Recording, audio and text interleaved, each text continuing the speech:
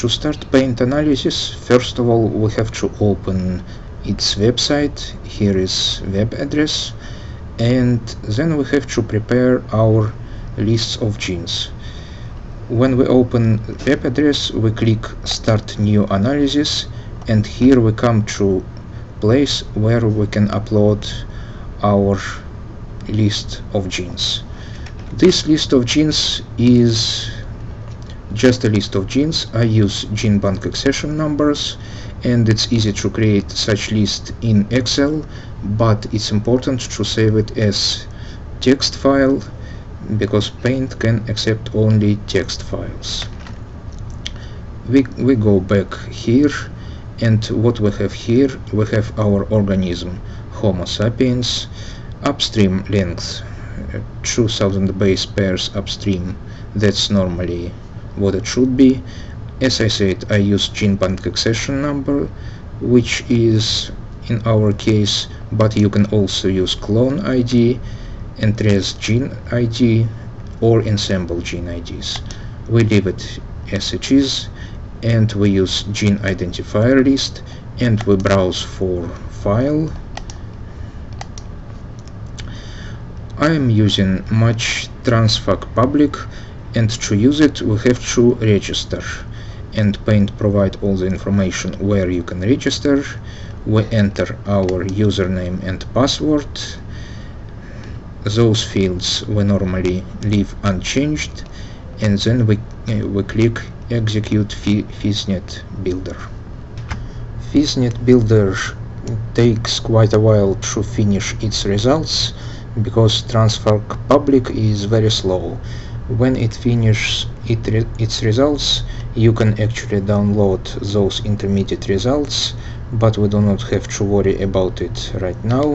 We go through all those intermediate files and we click continue to go on with FISNet analysis and visualization.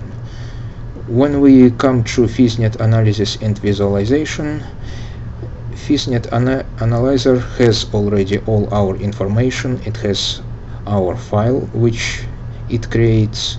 It has information which species we use and others. Then we come to clustering options. And for clustering options you do not want to change anything. You want to leave it as it is because it, it gives much nicer and comprehensible picture then we have to select reference list for our analysis. This reference list is our universe against which we will test our list of genes for statistical significance of overrepresented transcription regulatory elements.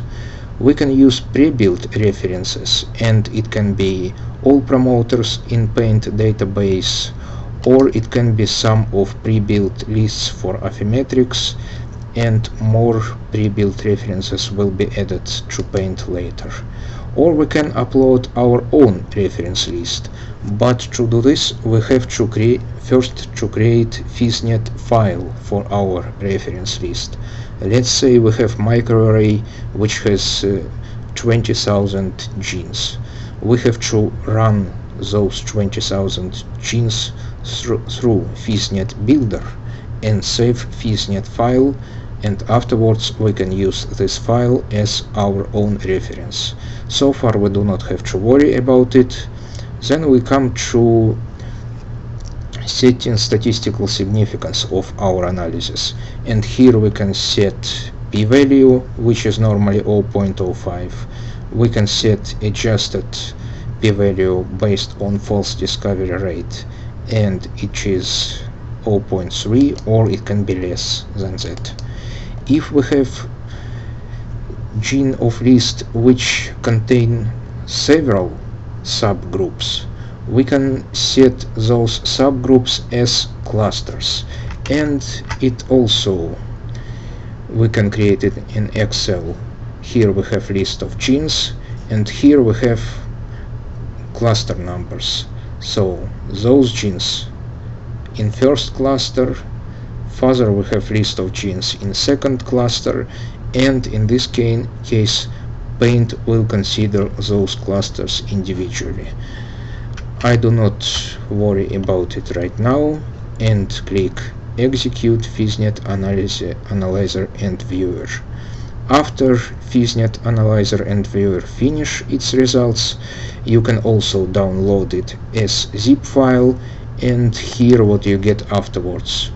You can get all, all your intermediate files and all information about which settings did you use and at the end of this you can actually see your results as picture and you can you can see which genes with what statistical significance share several transcriptional regulatory elements. As you can see here raw p-value based have some information but if you adjust it for FDR it has no significantly enriched TREs. Let's have a look at another picture produced by paint so you can get the idea what the, the results look like here we have some results which produce a good picture and uh, here we have FDR adjusted p-value based FizzNet as an image file. If we go here we can see those are transcription factors, overrepresented transcription factors and here are genes which share those transcription factors. We can see that several genes share TAL alpha and beta transcription regulatory elements, several genes share in common GATA1 and CMYC MAX transcription regulatory elements and several genes share only CMYC MAX transcriptional regulatory elements. If you want to see legend for this figure, it also provides you legends as image file and here you can see all your color legend. It has those results as text file which you can download or in such nice view which is a little bit difficult to interpret in my opinion but still you can get some idea which genes regulated by which transcription factors. If you really want to read some good tutorial about paint here is perfect description of it with examples and here are, is PubMed ID number. You can search PubMed for this number and find this article. Unfortunately it does not have free text so you can have to you have to find it through your library